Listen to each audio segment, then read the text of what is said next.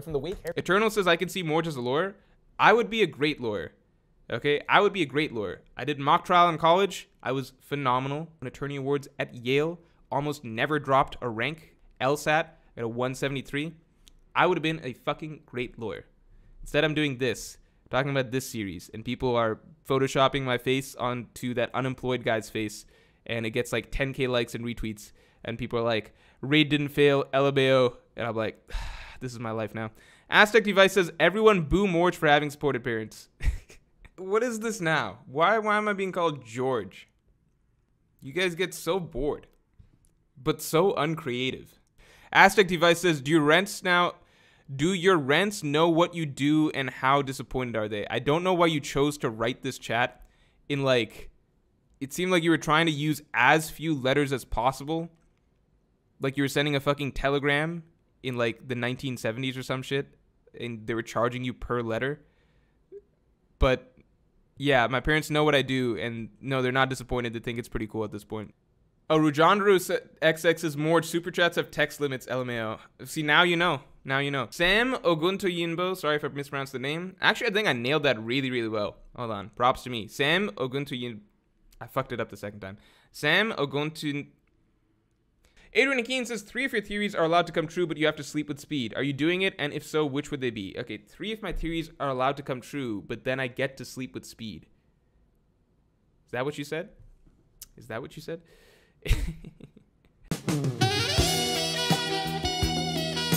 Uh, I would just take off the raid failing Kaido related ones, Kaido getting awakening. Mr. Crescent says, I feel like everyone was just excited to see Luffy beat Kaido and that the Straws and the Alliance deserve the W after all they've went through. What did they go through? What did the Straws go through this arc? What? I could read Act 1 and Act 2 straight if you combine all of the Straw Hat scenes from Act 1 and Act 2. They don't do anything. They don't go through anything. I would love to see the Straw Hats get a big W after they go through some shit. Again, Enies Lobby, great example. Alabasta, another example. Fucking Skypiea, like, there are examples where the Straw Hats have difficult experiences and go through something, and then they get their big Ws. I think those are great arcs. I, I don't I don't know what to say here. What am I supposed to say?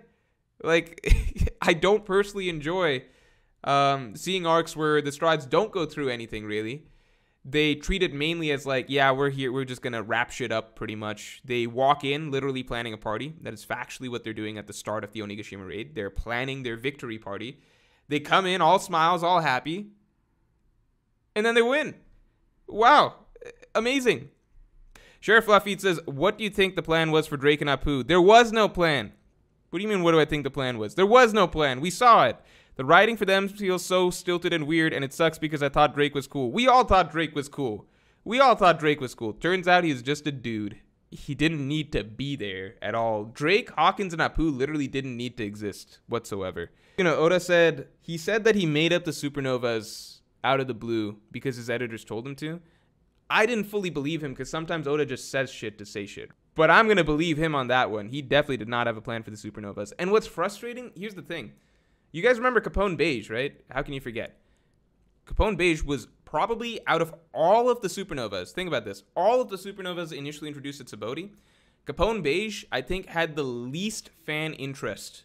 It just seemed a little generic. His ability was like interesting, but it didn't seem that strong. Um, he kind of seemed like just you know a mafia type ripoff character, and it was like he he didn't. There was nothing, not particularly high bounty, not particularly high um, number of mentions throughout the story, you know, name drops and things like that. So it wasn't a big deal. But then we get to Whole Cake Island, and Oda just writes Capone Beige brilliantly into that arc. I think the way he in- involved and used Capone Beige over the course of that arc and the flavor that Capone Beige brought was a great, great, great, great aspect of Whole Cake Island. Um, and Oda used him like phenomenally. Like one of 11 random side characters that Oda had to make up on the spot like years ago or whatever fit blended beautifully into Whole Cake Island. He even kicked off Whole Cake Island with getting Sanji and pulling him there. Oda weirdly set the bar too high with Capone Beige. Because from my perspective, it was like Oda was able to do that with that guy. Man, what's he gonna do with Hawkins? What's he gonna do with X Drake? But it turns out if you stacked up all of their story time together, Hawkins, Apu, X Drake, etc., it doesn't actually even scratch what Capone Beige had in total in Whole Cake Island, which is kind of wild. Law I never used as like the metric because Law and Kid from the start, it was clear that those two are going to be major in some way. It was the rest of the supernova that fall into their own category that I was kind of um, wondering how it I was going to incorporate. And Aliato5 says, Mr. Mank, thanks. What had a better resolution, Onigashima or Morj's shoulder? My shoulder. My shoulder ended well. My shoulder is at like 90, 95%. I'm worried that it's not going to hit 100% because I'm 26. I worry sometimes that like little injuries that I get nowadays, what if I just never recover from those? As you get older, you stop recovering from shit. A bearded lizard says, another day of wondering if Morj's shoulder is okay because he has never mentioned it and silences everyone who does. I'll teach you to talk about my shoulder. Can I... Almost Oof Part 2, damn. Brandon King says, even if you kill Oof, his will will live on. When does a user die? It's when they're forgotten. Guys, forget about Oof. Let's stop talking about him. Let him die. Let the man rest in peace. Enough of this. All right. Yeah, it's time. It's Morgan time. Christian McCurdy says, because the entire chat asked for it, hashtag Flame Emperor Oof. What's going on? No, we're not turning Oof into some sort of a heroic martyr. Oof is not the Sabo of this stream. That would make me Akainu or Im or something like that. No. Can someone unban him? It was a joke. How do I unban him? Unhide user. Alright, you're welcome. The Morj two, three years ago would have banned that person and uh, never been able to bring them back.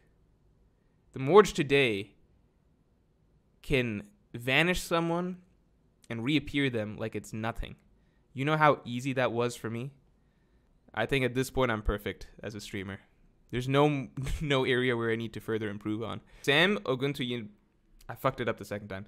Sam Oguntu.